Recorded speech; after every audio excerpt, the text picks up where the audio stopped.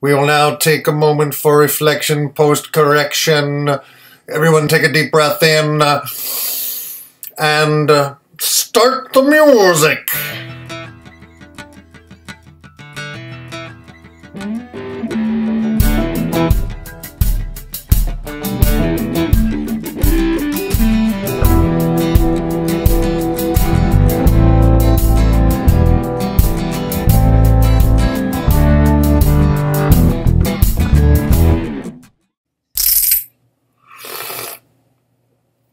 I don't know what to do. I don't know what to say. I just hopefully, hopefully it can, comes back. Come on back. Come on back, cryptos.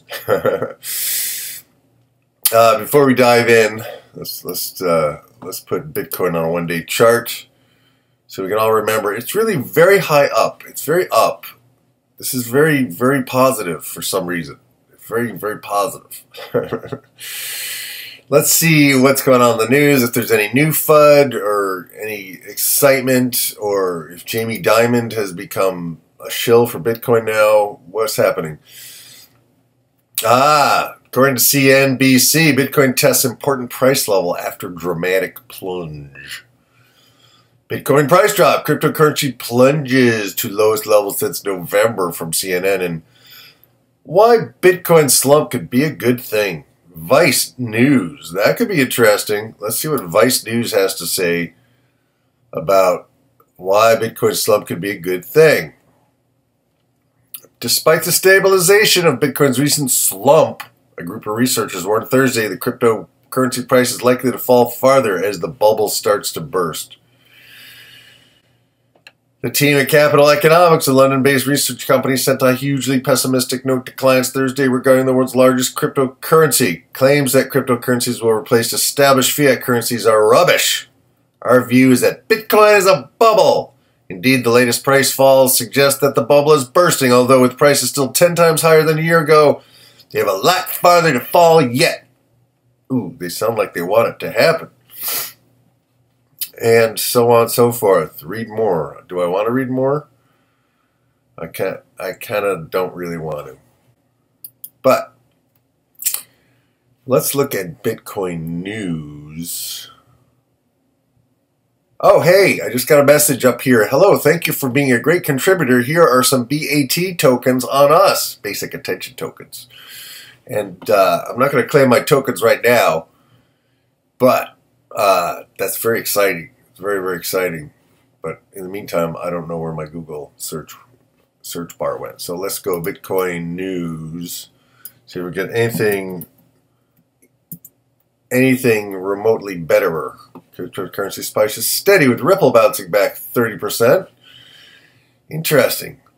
Bitcoin's in a bubble, but Ripple's bouncing back. Okay, we'll see how it goes. Uh, CBOE's first Bitcoin futures contract expired today. Don't know what that means. Don't know if I want to know. St. Louis Fed sees future in crypto as important asset class. Bitcoin as digital gold. Interesting. Yeah. Well, there have been people who have claimed that Bitcoin was dead a lot of times, and uh, evidently it's not. Oh, I want to. I want to go to Twitter and just see what's going on in Korea. You should follow me on Twitter. I don't I don't post very often on Twitter, but I I uh, this Joseph Young guy I like following him. Come on. Get. I don't want Dirty Eight. I want Joseph Young. There we go. Chairman of the Fair Trade Commission of South Korea. Whether cryptocurrency investment is excessive speculation or not, the risk is on the investor, and thus the government should not outright ban economic activity because it's risky. That's for individual investors to decide. Well, duh, yeah, that's good. I'm going to retweet this. How do I do that? I think that's the little retweet thing. Look at that. I just retweeted. And I'm going to say, yes. There we go. I'm participating in social media right here in front of you. How exciting. Yeah, so one guy gets it.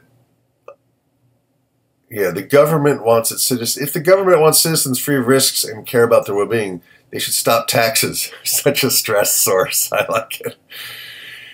Yeah. The Korean government has clearly decided that only accredited investors are able to make a decision. The poor will not be allowed to decide for themselves since the newly proposed regulations prevent unaccredited investors from using Korean exchange.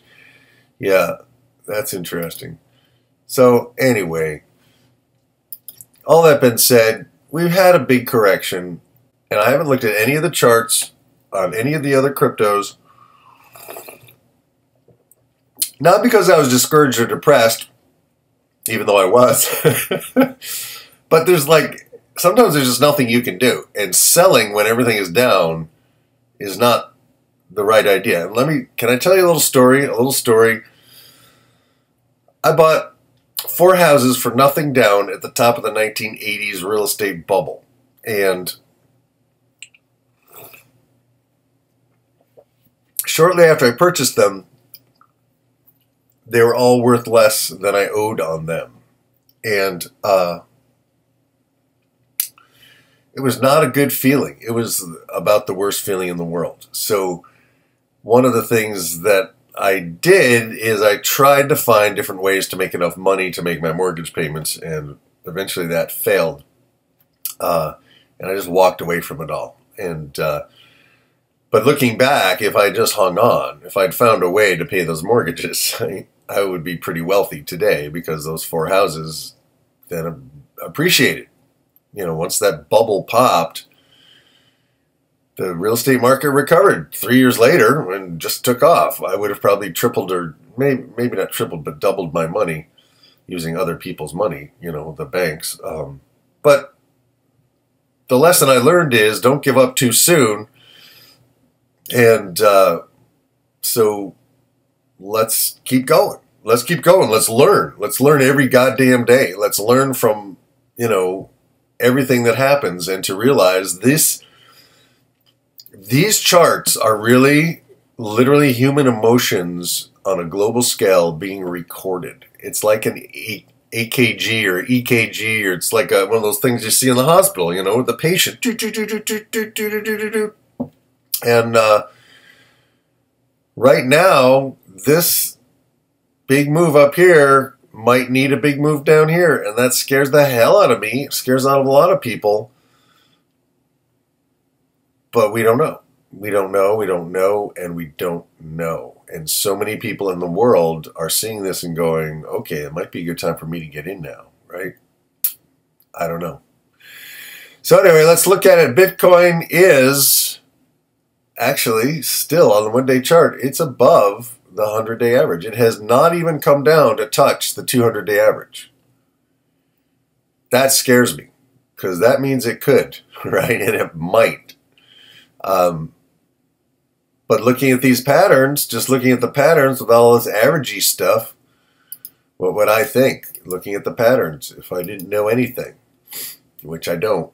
By the way, please don't take anything that I say as investment advice because I'm here in front of you learning and I'm earning while I'm learning, and I've done pretty well so far, but I'm still learning, right? And if I look at this chart, what do I see?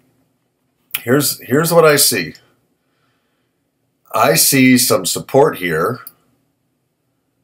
but I don't see a lot of support at the ten thousand the ten thousand dollar mark is pretty pretty much the the main support spot here. 10-ish approximately, you know. I can't quite dial it in the way I want to. Um, we also have a ton of support right here, kind of where it is right now. Maybe a little higher, kind of like in this area which would be like 12,000. Right? These are big evens on the US dollar chart. Okay, what does that tell us? I don't know what it tells us. It tells us there's some support here and some support there, and maybe it'll come back. You know, what I would like it to do, what I want it to do, is to do a sideways trading range where it goes back and forth, up and down, for about three months in this range. So it gets used to its new prices but enables people to make money by buying low, selling high, getting back in, buying low, selling high. That's what I would like. See if that can happen. We're just going to mind meld. Just imagine it happening. Imagine it happening. Uh, but the beauty is it's going to do whatever it does because there's so many people and the balance is between the buyers and the sellers. Do you think it's going to keep going up or do you think it's going to fall? The more experienced people tend to sell up here. And then the, the newbies sell because they're scared because they got it up here and it looks like it's going to fall. So I don't know. That's that's my mind meld with Bitcoin today. And unfortunately, um, you know, we have lower tops and we don't really have higher bottoms at this point. So, what does that mean? I don't know. I don't know what it means. that's why I'm here to learn. All right. So, uh, anyway, that's Bitcoin. I'm not going to like beat it with a stick, but we're going to grind through these. We have a little bit of a recovery.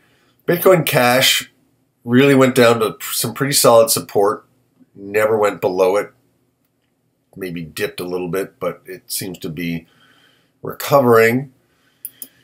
We'll see if it can or not. Same deal with Bitcoin Gold. Still a ton of support here on this 200, you know, 210, 209, 208 line, this area here.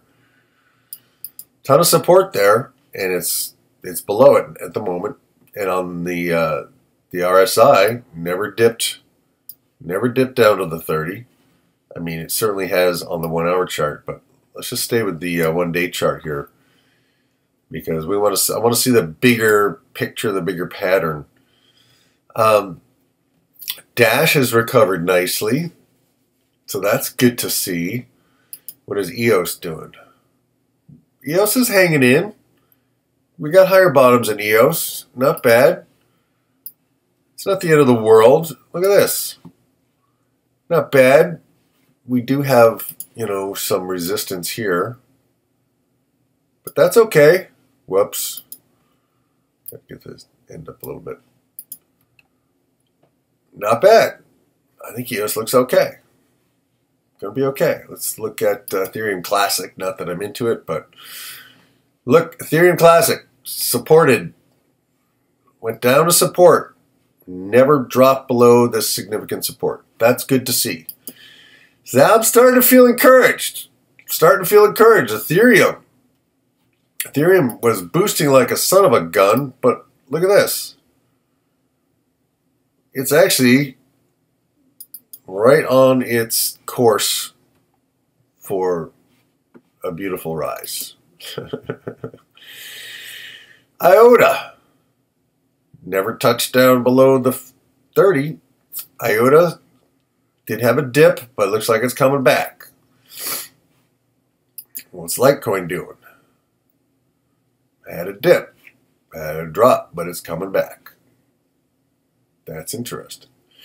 And we'll see if it gets right back up to where it was going to go or what. NEO I'm pissed at Neo because I sold all of mine a long time ago and uh, never really got a chance to get back in. So, all right, Neo.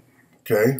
So I think a lot of people that had some money on the side, which is really the lesson from all this, is that there always needs to be a war chest. And I started talking about that, but I never really had a chance to develop it after I decided that that's what I wanted to do.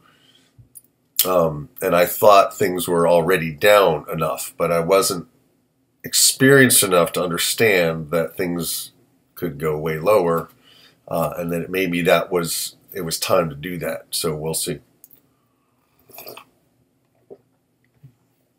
But my contention is it's only if you actually have money on the line that you're going to learn this stuff. That's how I learn. And having money on the line this this stuff is real, and you have to react to it, respond to it in a way that doesn't take you down emotionally. And I I really wasn't discouraged at all yesterday. I was just like, okay, I'm going to take the day off. I'm not going to look at this stuff. I'm not going to torture myself. So OmiseGO, we had the bounce down. It's coming back.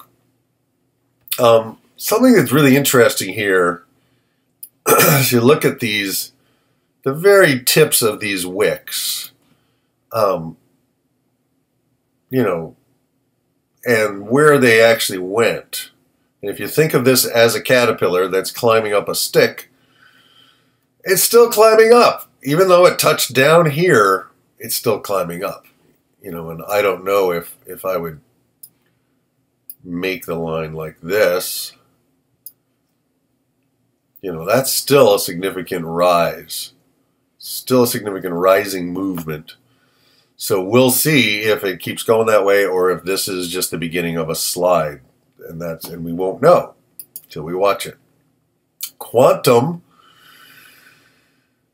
we had quite the drop and um, it looks like it's recovering. Still a good price if you want to get some. I mean, all of these are decent prices, but the question, the next question is, you know, are they going to really recover, or is there going to be a whole change in direction, and are things going to slide now? And that's the question I don't know the answer to. I'll start watching some of these other guys today. Uh, you know, like DataDash and Crypto Investor and CryptoGrinders, all three of which I highly recommend. Um, just to get their perspective and you know they don't know what's going to happen next either. And that's the thing is nobody knows. But i still think this is the only place on the face of the earth where the average person can put in a hundred bucks 200 bucks a thousand bucks and start improving their financial situation. I still believe that and uh, you know, a lot of people are going to lose money because there's, you know, there's no real way to learn this other than doing it. And when you do it, if you don't have financial maturity, if you've never worked on your money issues, if you've never cleared your limiting beliefs about money, you're gonna you're gonna express a lot of those through this activity. You know, it's like people who win the lottery often end up broke again or at the very least, it kind of screws up their lives. So the thing is, people have been protected from having to learn how to manage money, and I think I think that's intentional. I think our education system, probably all over the world, is designed to keep people a little bit unaware of the fact that every country is operating with funny money that is just printed willy nilly by the central banks. Interesting stuff. So I still think this is revolutionary, and I still think governments will do everything they can to do what South Korea just did, and I think we're going to see a lot more of that. So should be an interesting time in the history of the world. Ripple uh, dropped dramatically and then had a dramatic rebound. So I want to see a sideways trading range for a while on Ripple before I get involved. You know, burn me once. Don't burn me twice. All right, uh, Zcash. You know, literally, we had we had a huge drop and a recovery. But if you look at, if you just make a line from where it was, right, from its last plays down to these wicks, right, it's still a significant uptrend if you just look at the wicks, you know, these real drops, but they were so momentary. But you know, it's literally this kind of the same. It's the same angle of attack. So, uh, you know, we may have to come down to this trend line, and there may need to be some, you know, some continued adjustment. We shall see. Cardano.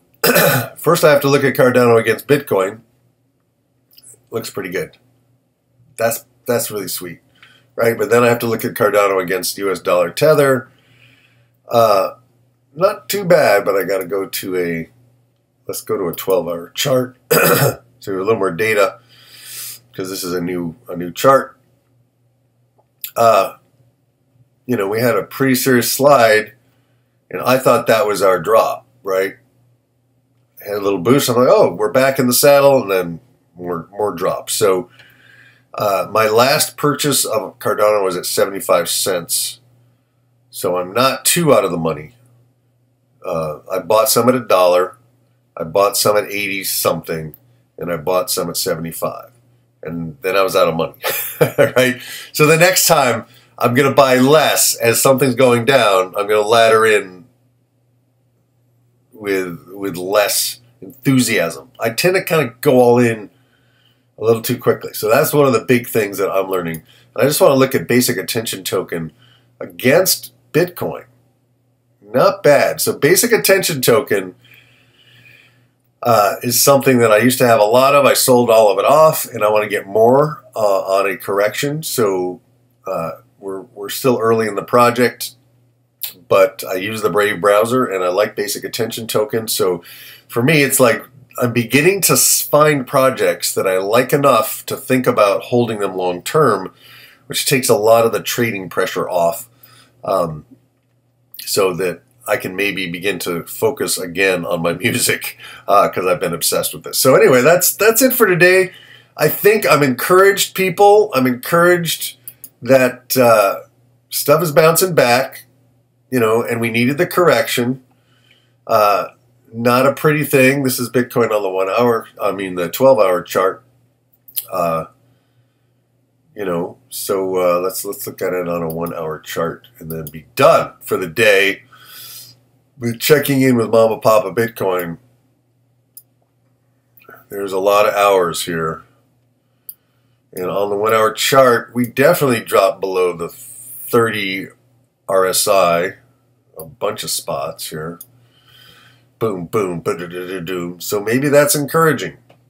I don't know. However, thanks for learning with me. I appreciate you guys so much, and thanks for the thumbs up and the great, the kind comments I had yesterday. I'm going to respond to them while this is processing.